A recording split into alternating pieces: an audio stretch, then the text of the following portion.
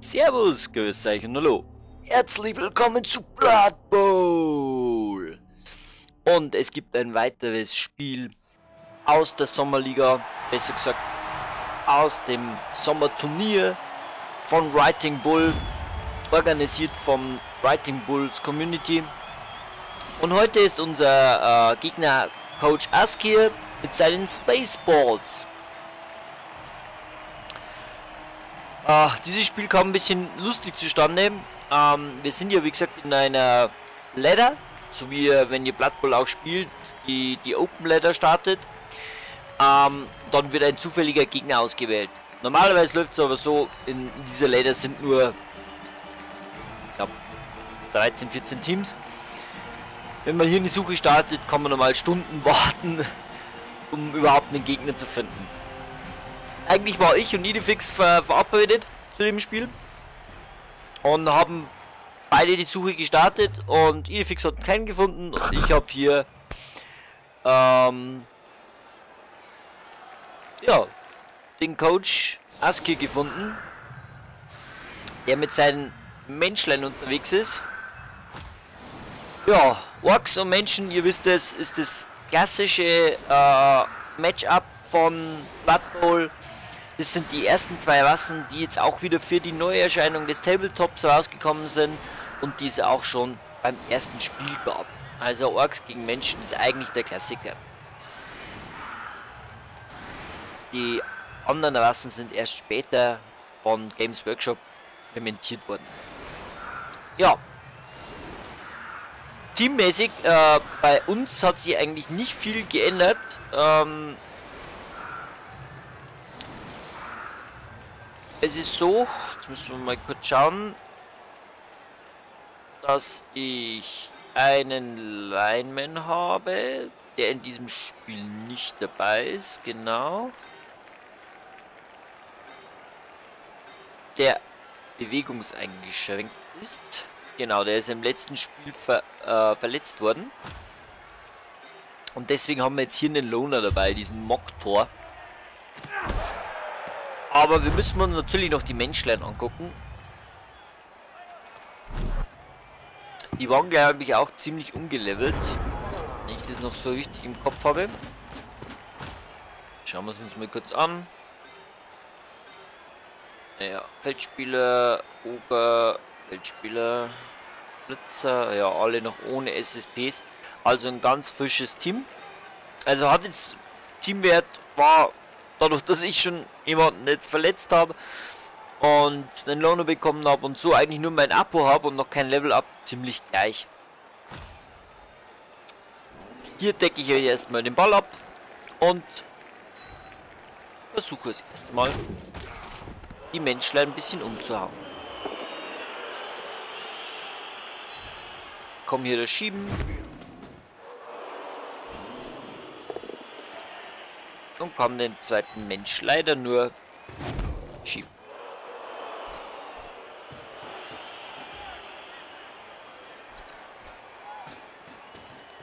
Jetzt blitze ich den. Aus dem Grunde, ich möchte nämlich den Oger faulen. Das war so mein Ziel. Und zwar, ich glaube mit Macho Man. Und mache hier jetzt einen blöden Fehler. Also hier, ich habe in dem Spiel viele kleine Fehler gemacht. Ich war da ein bisschen abgelenkt. Ähm, und wieso schiebe ich ihn hier hin? Ich muss ihn ja hier hinschieben, dass ich hier noch eine zusätzliche Unterstützung habe. Aber gut. Ich stelle jetzt hier den Schwarzack noch dran. Stelle hier den Blitzer noch dran. Jetzt habe ich zumindest drei Unterstützer. Und jetzt kommt das Farb.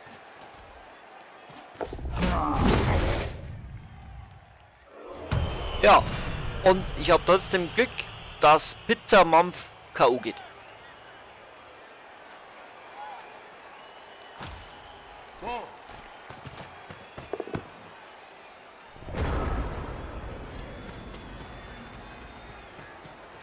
Die Spaceballs, ja. Äh, ich weiß nicht, ich denke mal, ihr kennt den Film. Vielleicht wisst ihr auch, wer, wer Pizza Mampf ist. Äh, Pizza Mampf ist ähm, Jabba the Hood, wer Star Wars kennt. Äh, Ja. Hier kommt der Einwürfelblock auf meinen Schwarzwerk geklappt. Mit Booster Booster. Und jetzt hat er hier schon, ja, ähm, zwei Spieler an den Flanken durchgebracht und möchte mich so ein bisschen von meinen Ballträger und meinem Feldspieler hier auseinanderbringen. Das möchte ich natürlich nicht zulassen. Hier stellt er seine Verteidigung auf. Hier stehen wir auf. Jetzt blitzen wir den als erstes mal weg.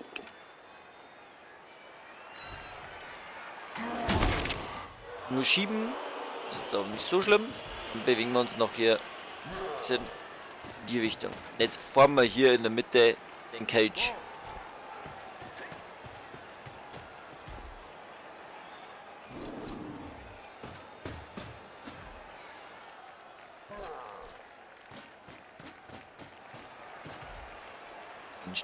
Zu.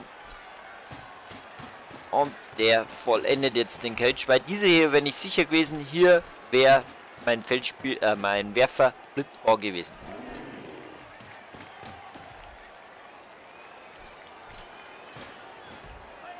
Den hätte ich eigentlich eher stehen lassen sollen, um ihn hier vielleicht am ähm, Aufstehen ein bisschen zu hindern. Wäre besser gewesen. Jetzt bekommt er hier natürlich die Unterstützung.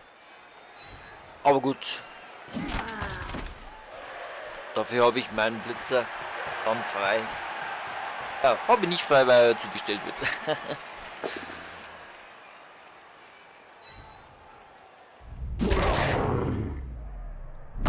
Und hier knackt mal wieder eine Rüstung meiner Schwarzorks. Hulk Hogan ist wieder mal gelähmt und jetzt kommt der Blitz auf den Blitzer. Nur einschieben.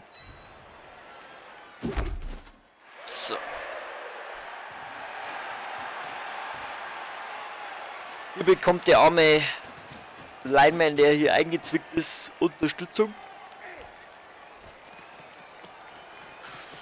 Jetzt wird hier sehr offensiv verteidigt. Rerollt es sogar.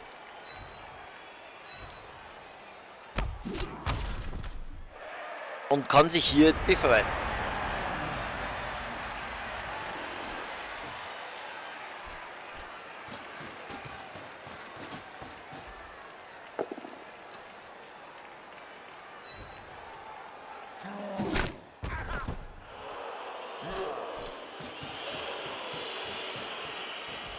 Habe jetzt hier entschieden, mich auf die linke Flanke zu äh, konzentrieren, weil die aktuell ja, die schwächere ist. Aber man muss natürlich dazu sagen, dass die Menschlein ja genügend Bewegung haben, um die Verteidigung umzustellen. Hier riskiere ich das Go for it.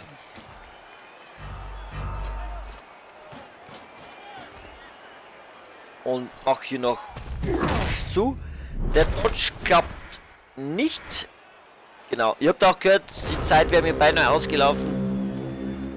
Ich habe hier ein bisschen überlegt, was ich mache. Jetzt habe ich rechts äh, mit dem Feldspieler ein bisschen eine, eine Bedrohung geschaffen. Habe in der Mitte noch ein paar Spieler für die Ballübergabe. Wenn es äh, notwendig sein sollte.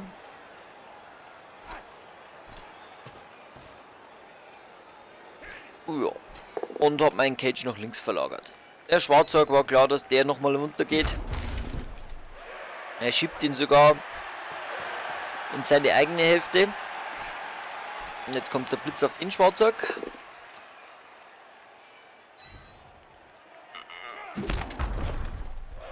Hätte ich genauso gemacht. Und jetzt kann er sogar noch meinen Feldspieler zustellen.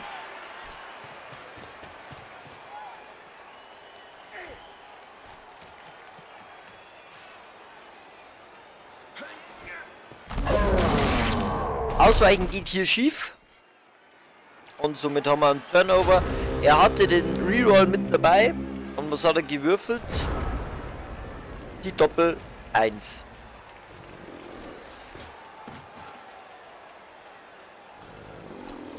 So, dann stehen wir mal mit unseren Spielern wieder auf. Und hier blitzen wir den Feldspieler.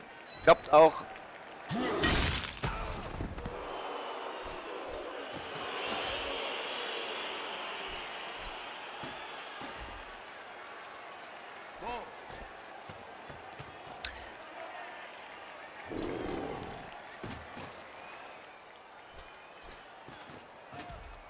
Cage wird ein bisschen neu ausgerechnet. Und hier folgt das Foul auf den Fänger. Hier haben wir nur eine Lähmung. Major Arschloch ist gelähmt. Die Namen beim Spielen fallen mir immer weniger auf, bei den Replays eher. Das Baseballs ist echt ein Film. Also wenn ihr den noch nicht gesehen habt, unbedingt anschauen. Kann ich nur empfehlen.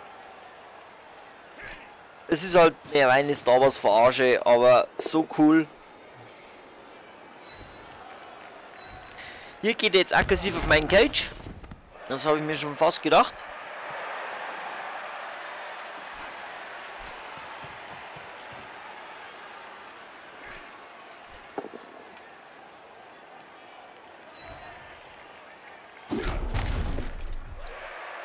Und in dem Spiel halten meine Schwarzachs zumindest mal ein bisschen jetzt aus.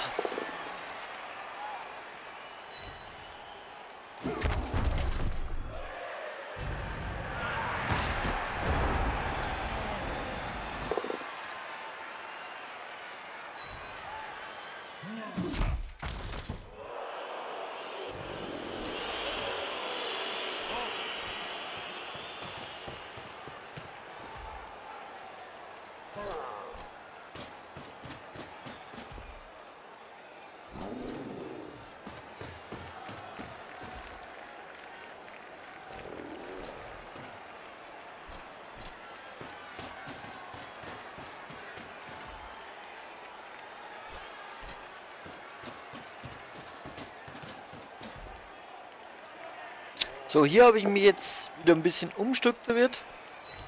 Ähm, hab den Cage wieder in die Mitte gezogen und habe links und rechts jeweils eine äh, Bedrohung gesetzt. Hier mit den zwei Blitzern, hier möchte ich eigentlich schon langsam nach vorn kommen. Aber man ist hier immer in so viel kleine Scharmützel äh, ähm, drin und er kann immer drei Leute für sein äh, für die Blocks gegen die Schwarzorks nutzen.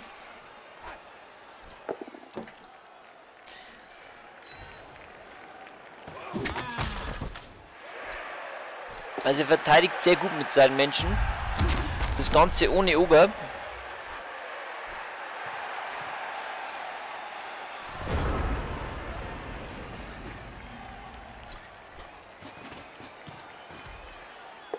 So, hier befreie ich jetzt mal meinen Schwarzsack ein bisschen.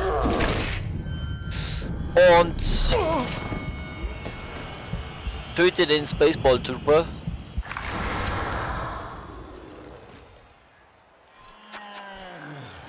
Er hat noch keinen Abo.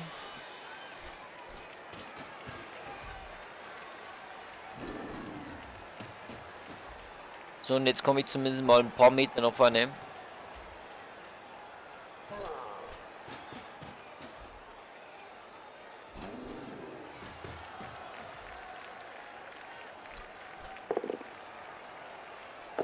Geil, den reroll ich, weil ich ja drei Rerolls noch habe und nur noch drei Züge.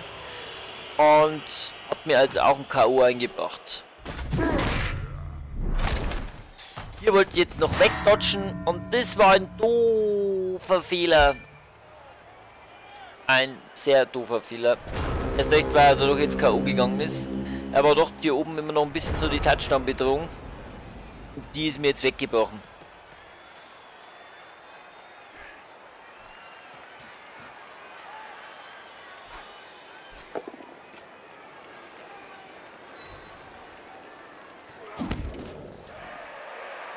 Hier wird der Schwarzog nur nach hinten geschoben. Und hier kommt jetzt der Blitz auf den Loner, auf Mockler. Und kann auch hier umgehauen werden.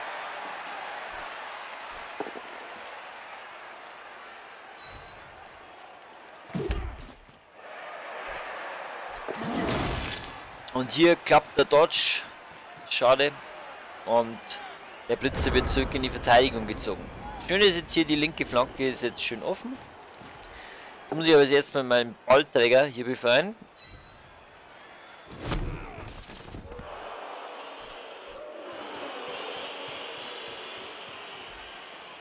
Und ich muss jetzt hier Leute in Touchdown-Bedrohung bringen.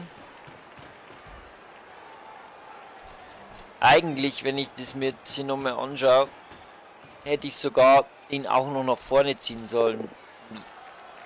Hier nicht vielleicht ähm, hier zustellen.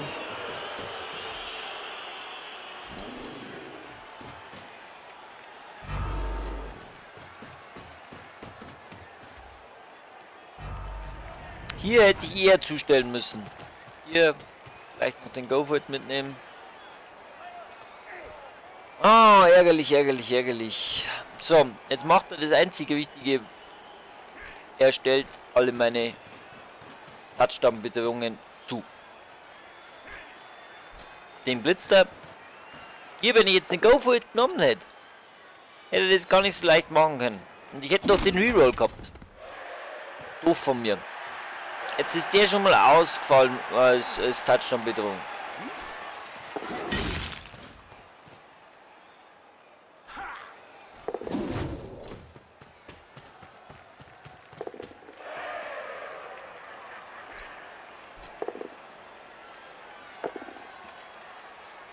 Hier kann nur geschoben werden. Sein letzter Reroll ist... Nee, er hat noch zwei.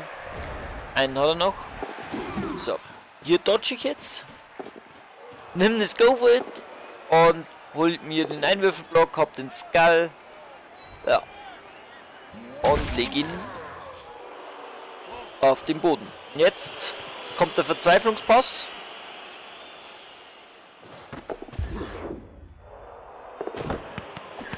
Und leider fängt er diesen nicht. Ich habe zwei Alternativen gehabt. Ich hätte erst mit ihm dodgen können in die Touchdown-Zone und dann den Pass werfen. Oder so. Wie ich es jetzt gemacht habe, hier äh, fangen wir glaube ich 50% Chance. Ich weiß jetzt nicht, was besser gewesen wäre. Aber ich glaube, naja, den Dodge hätte ich geschafft. Und aufs Werfen hätte ich den Reroll gehabt. Es wäre wahrscheinlich geschickter gewesen, hier erst zu dodgen und dann auszuwerfen.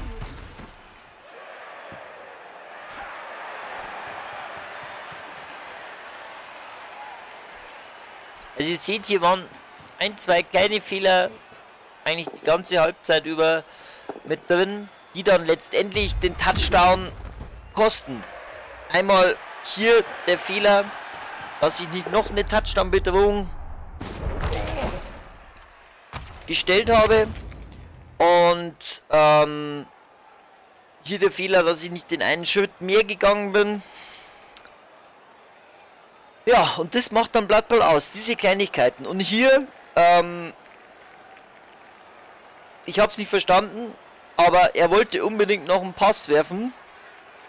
Ähm, geht, hier ein Go for it, hat ja keinen Reroll mehr und fällt hin und verpasst das nächste Match. Also ihr seht, jetzt hat er schon ähm, den Toten und einen Blitzer, der im nächsten Match nie mehr zur Verfügung steht.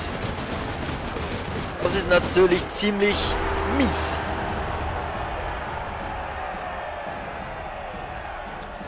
Das Problem ist, wir haben jetzt in unserer eigenen Angriffshälfte nicht gepunktet. Und was noch schlimmer ist, seine Kaola kommen zurück. Meine bleiben liegen. Oder meiner bleibt liegen.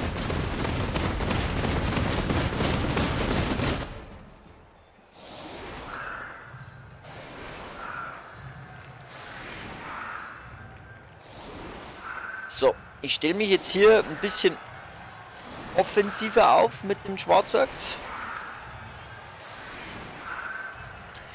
Dass hier in der Mitte nicht so leicht durch kommen werden kann. Die schwache Seite ist jetzt definitiv hier die linke Seite und man sieht schon hier auf der Aufstellung, er wird sich auf diese Seite konzentrieren.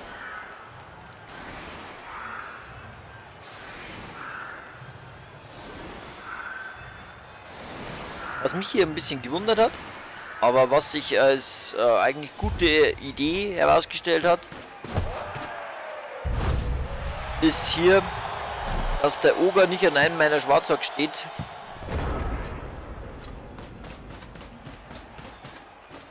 Und das ist jetzt das Ziel. Bret Hart muss weg.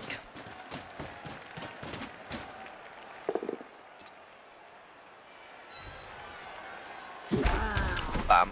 Und schon liegt er. Aber zum Glück passiert nichts. Und hier stellt sich der Uger einfach mal hier an die zwei Schwarzeug, äh, an den Schwarzeug und an den Blitzer ran. Einfach um die zu binden.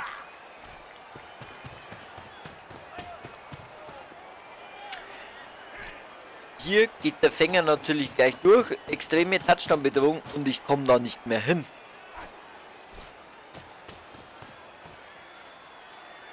Von dem her war das echt gut gemacht.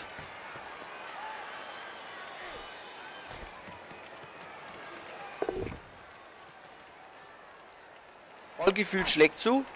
Der Ball ist in Händen der Menschen. Und jetzt ist natürlich alles auf der linken Seite. Deswegen kommen jetzt erstmal die Blitzer, die wo jetzt nichts zu tun haben. Mal hier nach hinten, um als Abfänger, wenn irgendwas schief geht, zu dienen. Und jetzt blitze ich mich hier durch. Klappt. Und verletze Ryan Wolf. Ein Loner.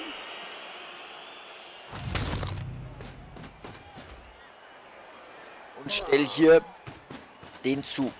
Also mir war es jetzt hier wichtig, dass ich alle möglichen Ballträger oder die wo den Ball übergeben bekommen kriegen, dass die zumindest zugestellt sind.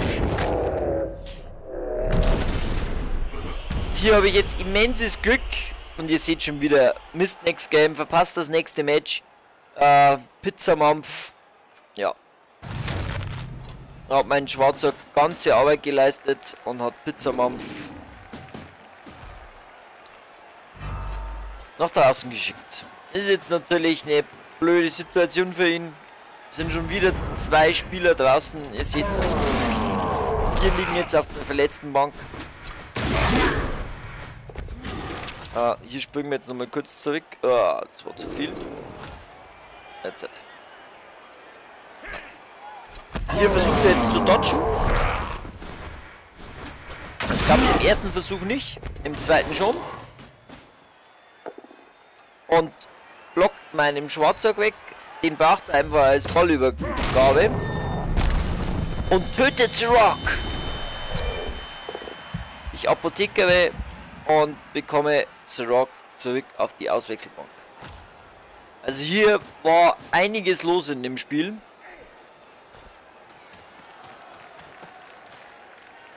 So, jetzt kommt der Pass. Und der kann nicht gefangen werden. Reroll war ja schon draußen beim Ausweichen. Ja, so, jetzt kann ich ihn ja zumindest mal zustellen.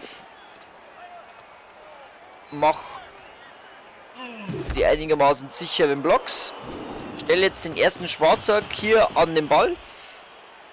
Einmal eine Deckelzone. Jetzt versuchen wir weitere Spieler hier hinzubekommen. Blitz auf den äh, Feldspieler. Leider nur schieben. Und die nächste Tackle-Zone ist aber.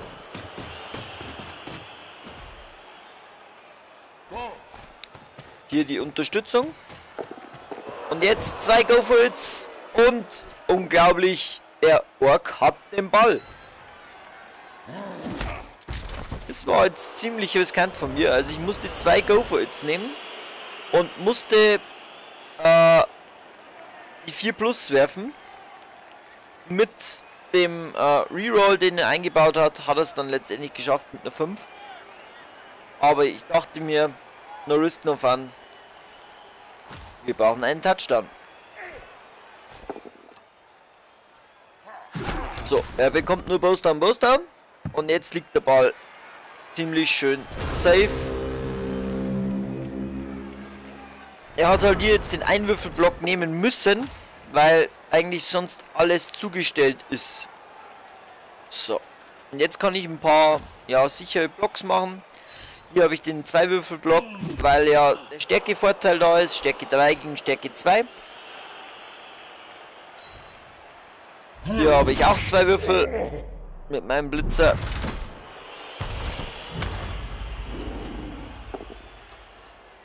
Und hier kann ich das Menschlein an die, Liebe, äh, die Linie schieben. Dann schnappe ich mir hier den Lineman leider nur schieben. Aber es reicht ja, dass ich meinen Blitzer frei bekomme. Und der soll jetzt den Ball aufheben. Und schafft es auch beim ersten Mal.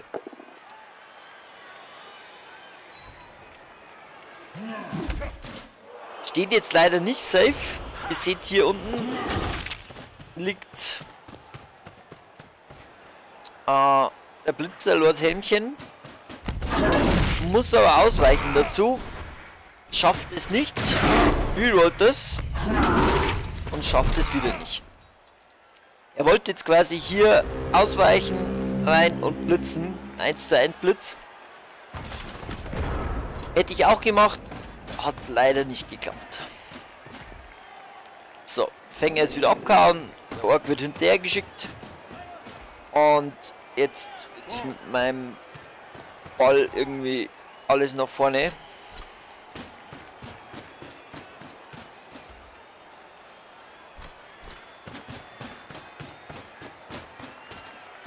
Die Leute zustellen und hier erstmal surfen. Das nicht klappt, jetzt muss ich das schon rerollen, aber jetzt ist er zumindest weg.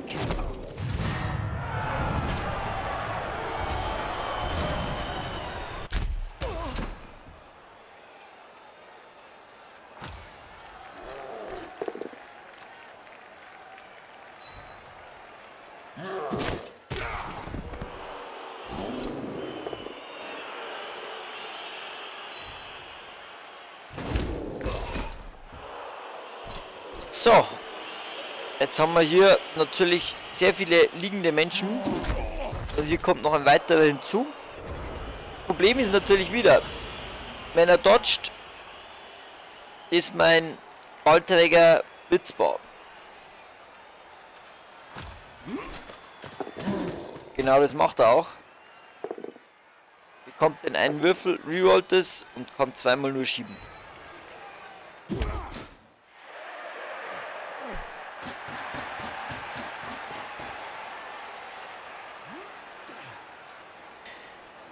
Ich habe halt nie eine hundertprozentige äh, safe Position hinbekommen für meinen Ballträger, weil einfach zu viele, ihr seht, die Orks sind überall auf dem ganzen Spielfeld verstreut.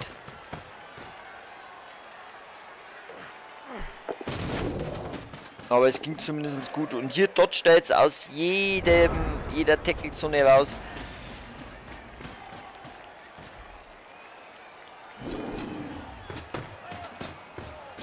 So, den stelle ich jetzt gleich mal mit zwei zu.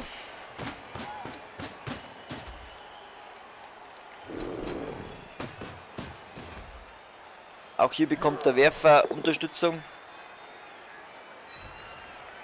Die kann ich leider wieder nur schieben. Gehe nicht nach. Ich weiß nicht, warum ich nicht nachgehe. Auch hier schiebe ich. Genau. Ach, hier habe ich den Blitz vergessen, genau. Wieder so ein kleiner Fehler, der mich extrem geärgert hat. Extrem. Hier wollte ich eigentlich blitzen und dann nach vorne laufen. Dann wäre das eigentlich schon wieder ziemlich safe gewesen. Hätte theoretisch sogar eventuell noch eine Runde stolen können, aber hätte eigentlich den Touchdown gemacht. So war der eigentliche Plan. Und hier, ich habe mich so geärgert, ich kann es euch gar nicht sagen. So ein blöder kleiner Fehler. Die, die, die kleinen Fehler ziehen sich hier durchs ganze Spiel.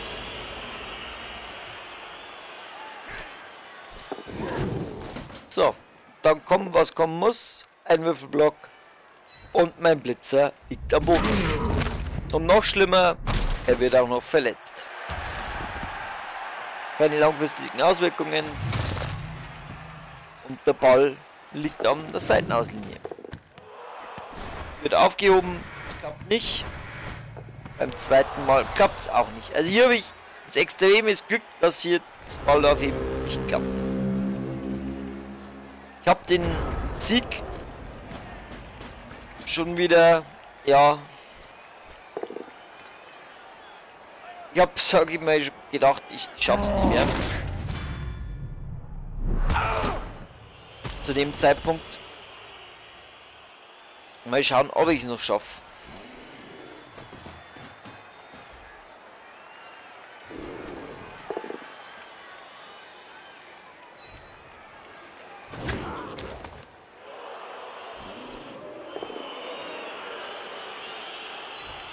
Ich schiebe jetzt absichtlich hier auf den Ball, weil da draußen war mir zu gefährlich und er fliegt eigentlich nicht schlecht für mich.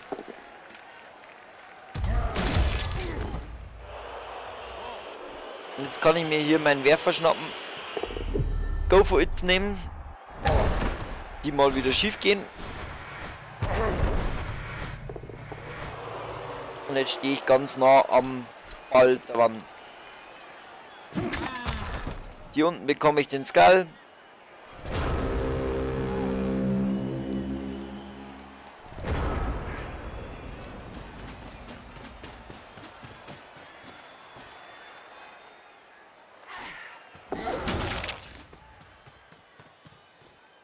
Kommt sein Läufer. Und jetzt kommt der Blitz. 1 zu 1 Blitz auf meinen Werfer, kann nur schieben. versucht den Ball aufzuheben. Der Gofield geht schief. Und der Ball landet zu den Füßen meines Werfers. Er braucht jetzt nur noch den Ball aufnehmen. Ballübergabe. Nein, kein Pässchen. Das war mir jetzt das Risiko zu viel. Und Touchdown! Nach einem chaotischen Spiel gehen jetzt endlich die WWE SmackDown Moshers 1 zu 0 in Führung.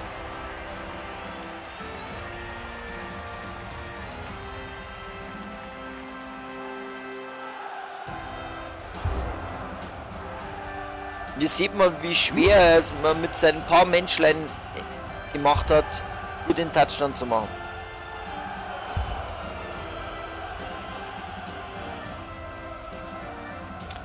Aber wie gesagt, ich habe es mir auch selber schwer gemacht. So.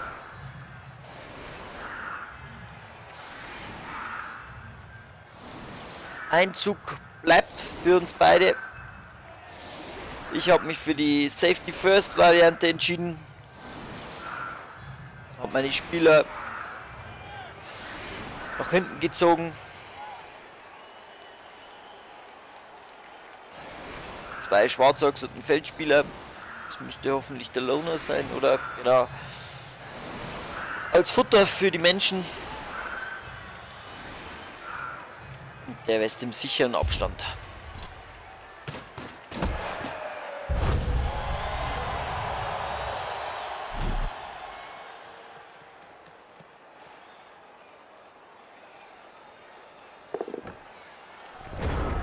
Fängt den Ball perfekt. Schon geht die Klopperei los.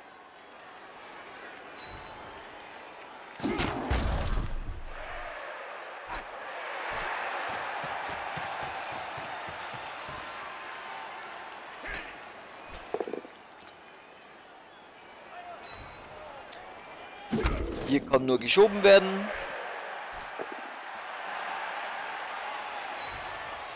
Und hier erwischt den Feldspieler. Jetzt kann er noch blitzen. Aber erst... Oh, hier hat er den Ball nur übergeben. Ich denke mal, der wollte eigentlich passen.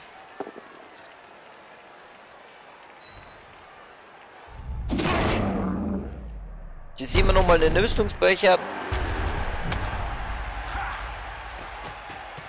Oder kommt der Pass jetzt?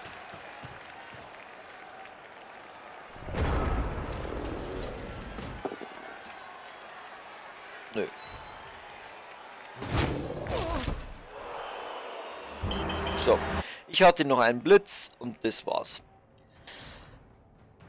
Ja, zu den äh, Statistiken. Wir haben einen Todesfall ähm, auf den ähm, den Wein der, der Spaceballs. Vier Rüstungsbrüche sind ihnen gelungen. Wir haben einen Touchdown, null Todesfälle. Durch den guten Apotheker, ich muss gleich klopfen, weil meine Apotheker nicht so oft so gut funktionieren. Ballbesitz hatten wir 75%, 40 Tackles zu 31 Tackles. Ja, drei erzwungene Chaos, drei erlittene Verluste. Seiner Seite zwei erlittene Verluste. Hier haben wir endlich mal SSPs gemacht, aber auch hier nach diesem Spiel gab es keine Level-Ups.